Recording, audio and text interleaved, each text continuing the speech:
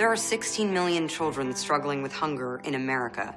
That's one in five daughters, sons, neighbors, and classmates who don't know where their next meal is coming from. Yet billions of pounds of good food go to waste every year. It's time we do something about it.